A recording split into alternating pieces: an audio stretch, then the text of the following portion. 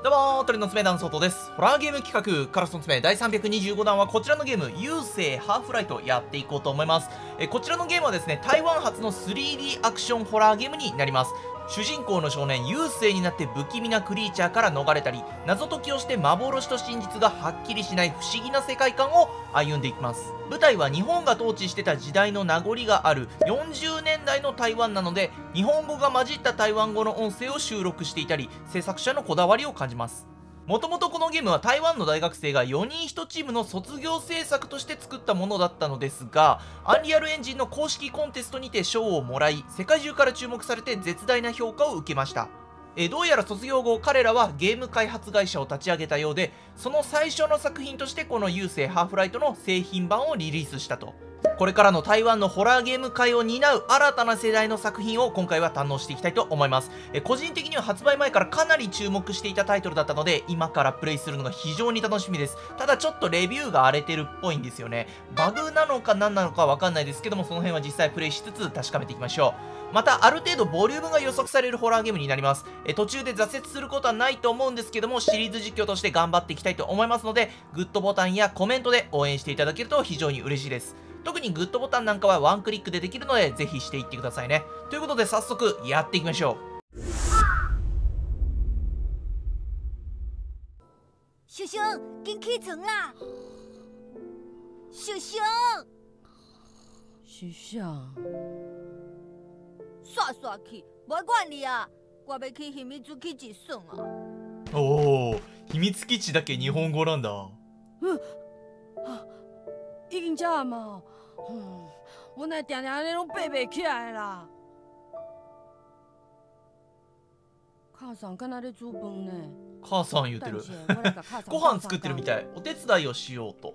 でこれが主人公の、えー、シシュンくんなのかな。優勢って呼んでますけども。まあでも日本語読みだったら優勢なんで、えー、とりあえずパート1は優勢で読んでいこうと思います。呀。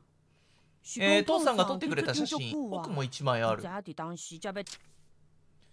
どこに置いたかわからない。ところで最近あんまり父さんに会ってないんだ。なるほど。これは壁に落書きしちゃったのかな。昔はよくそこら辺で遊んでた、無し去遐佚佗。おなんだ？えー昔はよく友達とここで遊んできた。しかし、鬼ごっこをやっていた途中に、えー、クラスイキくんがいつも邪魔をしてきたと。もしクラスイキくんは家にいなかったらきっとここら辺に来た。なるほど。あれだね、台湾語の読み方だからわからないね、ちょっとね。いやでもこの独特なグラフィックがいいんだよな。なんかすごく好きなんだよな。雰囲気が非常にいい。これは？あ、なんか一個増えたのかな？ちょっと見てみようか。お父さんとお母さんの写真かな？絵かな？わからないけど、なんかそういったものですね。断片なんだな。じゃあいくつかを集めたらいいのかな？これちょっと気になるよな。どの写真にも僕は写ってないって書いてあるんだよな。なんかその家族間での何かこう、良くないことが起きちゃってるのかい？何を書いてるかわからないけど、もっと大きくなったら読めるかも。うん。結構まだ幼い少年って感じだもんね。着替えたくない。まだ汚れてないからと。うんあ、お母さんいるじゃん。小熊，你今日哪种晚起床？うん、どうしてこんな時間まで起きてたの？体大丈夫？違うよ。ただ、你若無代志吼，大丈夫ならちょっと必要なものを取ってきてくださいうん、ニンニク、あと金柑も少しだ。ご下。飯も取りなさい。ちょっと温めると。、金柑パイコってなんだろうね。お 母さん。はちょっと、あれなのかな？風邪でもひいてるのかな？具合が悪いのかもしれないね。母さんのレシピ。うん。えーお母さんが頼んだ食材。いつもこのなんかパイコーを作ってもう飽きた。なんて父さんはこんな料理が好きなの？まあいいか。まずお母さんの食材を探そうか。えっ、ー、と、ニンニクご飯、金柑と3つですね。ああ、これがいわゆるタスクというかメインミッションみたいな感じになってくるのかなうーん。なんかでもいいね、温かい家庭って感じで。うん、まだ闇があるのかもしれないけど。うん、早く取ってきなさい。と。じゃあ、とりあえず、こっち側かな？外行ってみようか。これはお隣の部屋かな？あご飯だ。先にお供えをしないと取ってはいけない。なるほど。お母さんが炊いたご飯すでにお供えにしたからちょっと硬くなってきた。あなるほどなるほど。仏壇みたいなとこにお供えしてたやつなのかな？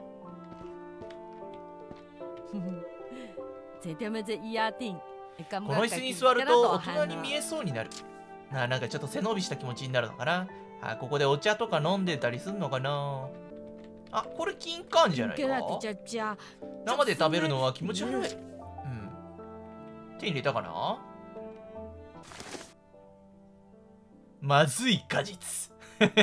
なんかある洗剤の味がする。洗剤の味したらやばいなそれはなここは南京錠か、うん、なるほど。鍵がかかってると。あと食材としてはニンニクが必要なんだけどニンニクはどこにあるんだろう。外とかにあるのかな。うーんこの辺はちょっとああったあったあった。これだな。これが嫌いだ。えニンニク美味しいじゃんね。翌日は気になるけどねやっぱ匂いが。うんえー、辛くてたまらない。もう二度と食べない。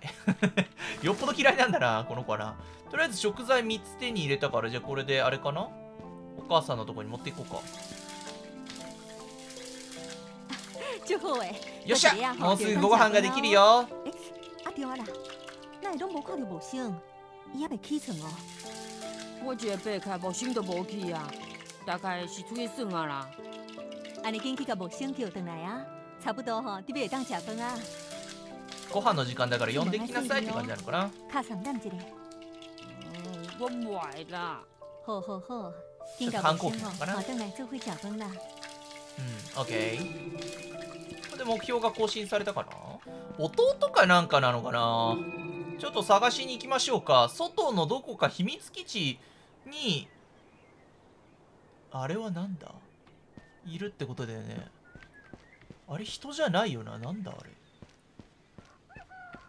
何？え？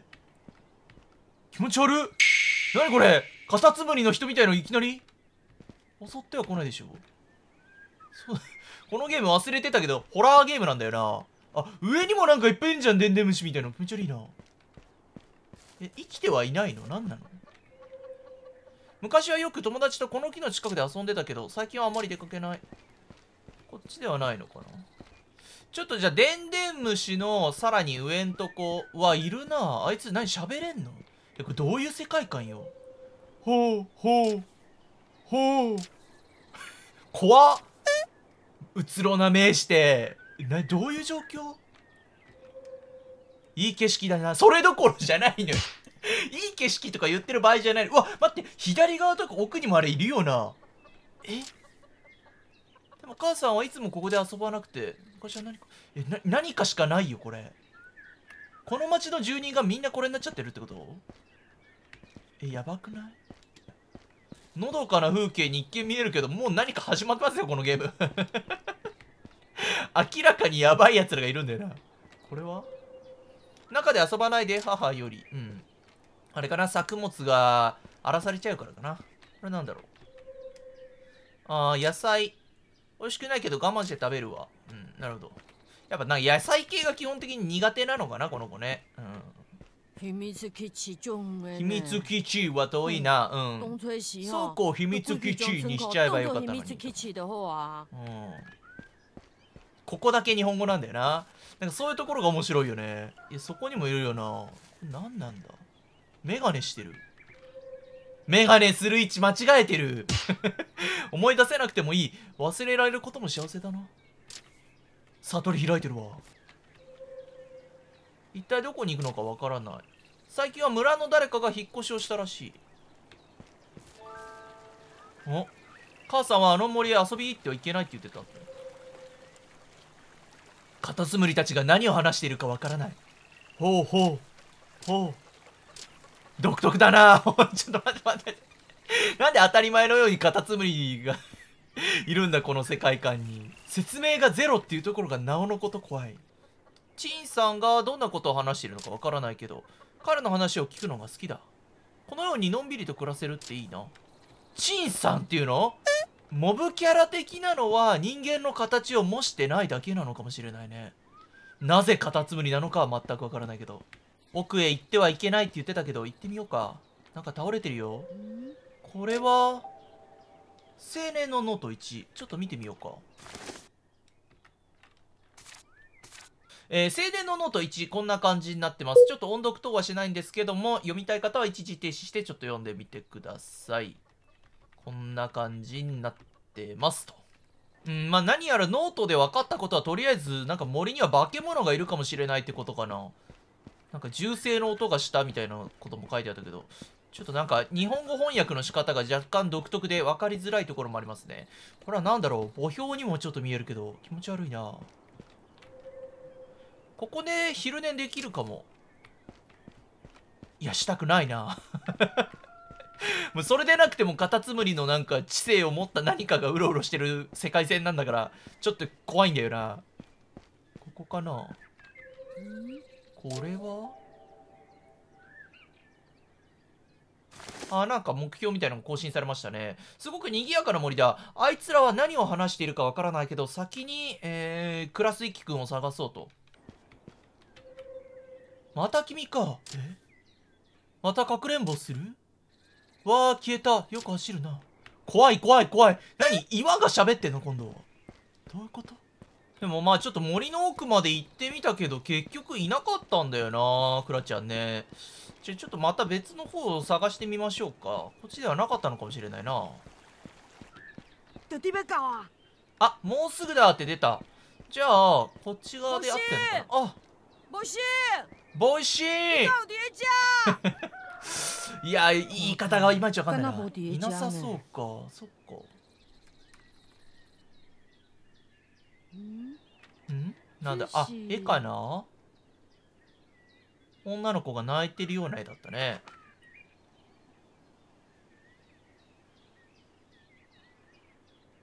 うん急に色合いが怖いな。母さん。母さんもう泣かないで。迄是一只あいつはとても恐ろしい化け物だ。我马上就来找木星。うんクラちゃんを探しに行くから。缭乱全てを另一燃やした何か思い出した。我拄则，我好亲像想到什么啊？诶，小等者，敢讲ちょっとまさか僕はすでに外に出てクラちゃんを探したか。ななんかループしてんのかな？さっきまでまだ家にいたの。うーん。何かすでに悪いことが起きてしまっていて記憶の奥深くに何かを閉じ込めてしまってるのかもしれないねパート1らしい話の展開っていう感じですけども、こっ一ち側。森の中に入ったと。これは？あまたなんか綺麗なノートは綺麗なノート2にはこんな感じで書かれてますね。なんか場所の名前がいろいろ書かれてると。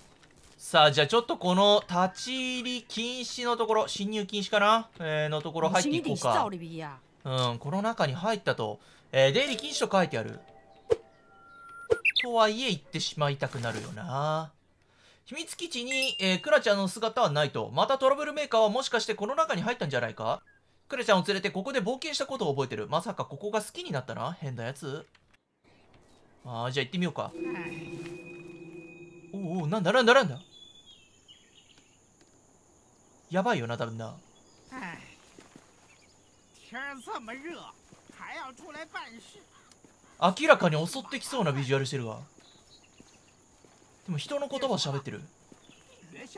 もう言うな。腹立つぞ。なんか一瞬見つかりそうなマークついてたもんね。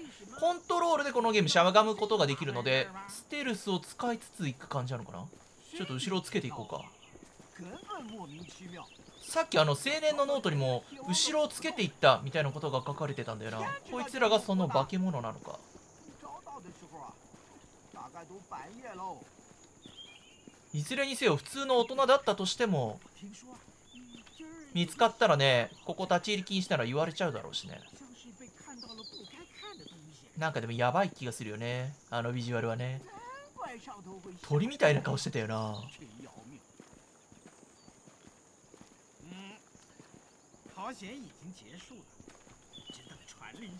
そっちが行ったね。よかったうわなんか奥にもなんかやばそうなのいるぞ。でかっ。なんか柔道着着たカラスみたいのいるよな。なんだあのビジュアル。独特だな。おっと。おっと待ってやばいやばいやばい。バレたのかバレたのか。逃げるなって言われてる。逃げる逃げる逃げる。待って。嘘。大丈夫か？はいけたいけたいけた。急に追ってきたな入るしかなかった感じだったな。さあエレベーターから降りて何だったんだ今の？嗯，这是ここは？阮兜附近的米店。家の近くの米屋さん。应该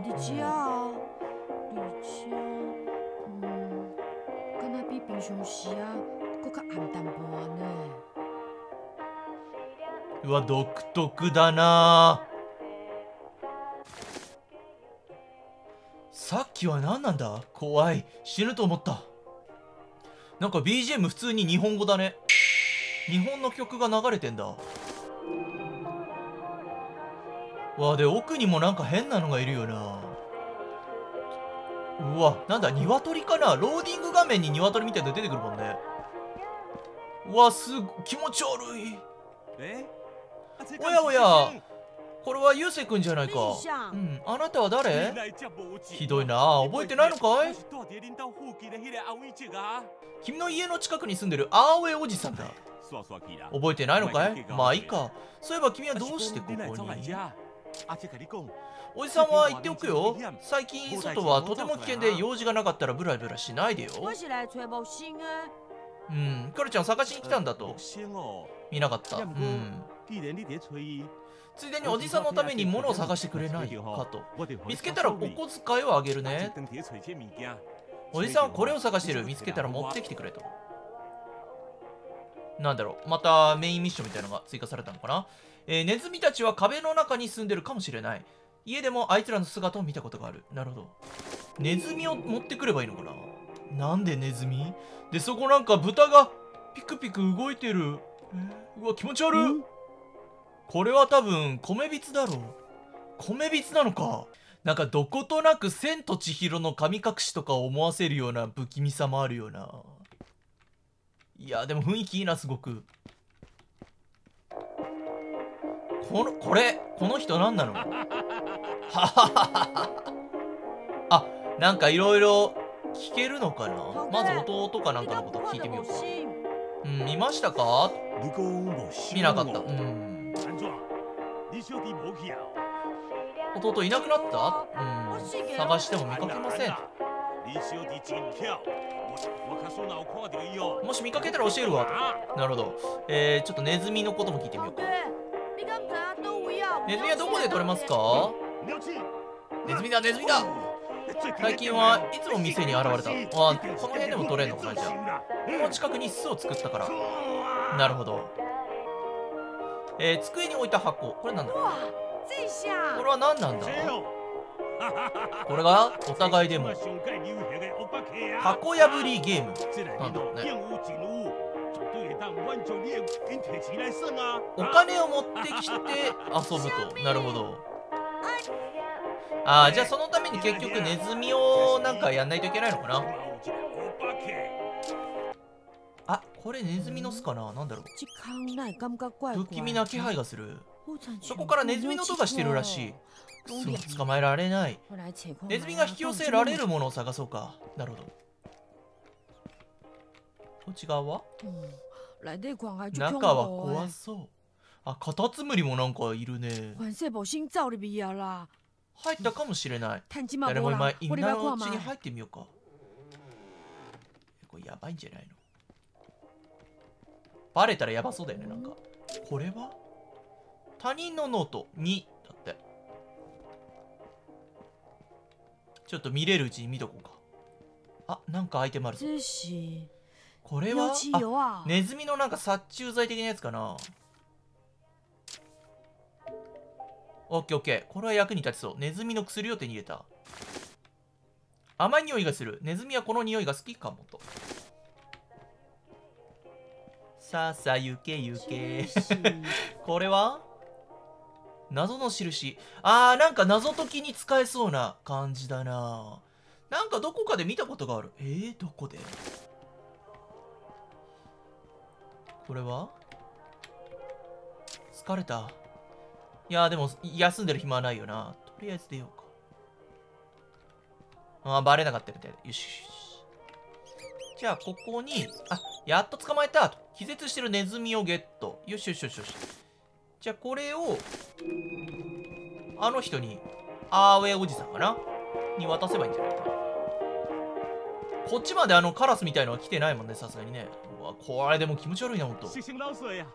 うん。見つかったんじゃないかと。食性你有真厉害，以后的暗顿吼，唔免烦恼啊啦！来来来，这收费是要互你的，はいお啦。小遣いだと。お菓子とか買えるねだって。そうだね。啊这就先来走啊。再会。あなんかノート落としてった。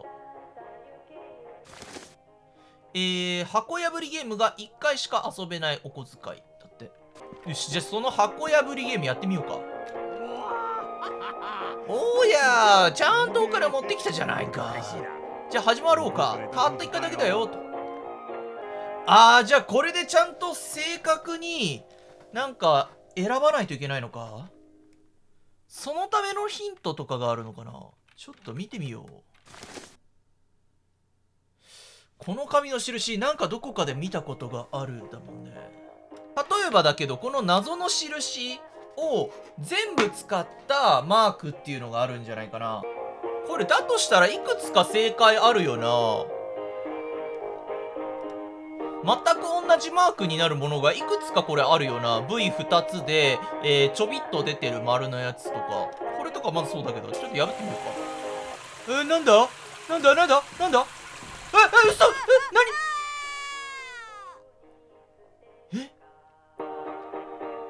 怖っ。えいやダメだったってことか。嘘。うーん。謎の紙のマークを組み合わせた時になるパターンのやつはこれとこれとこれとこれかな？多分4つだと思うんだよな。でいくつか開けたけどダメだったと。ちょっとまたやってみよう。かうーんダメだね。この時にどうしたらいいんだろうな逃げようがないもんな。ファーファーになっちゃうもんね。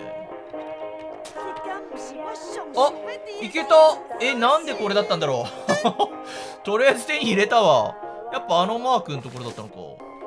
あであの店長みたいのいなくなっちゃったどえ？竹内ボキこ行った？